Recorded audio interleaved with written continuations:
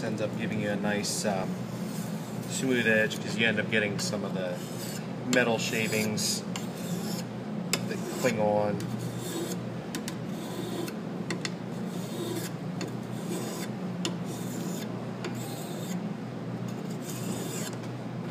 And the reason for the water on the whetstone, if you were wondering, two reasons. Lubrication, just to keep the metal from getting hot with the um, with the uh,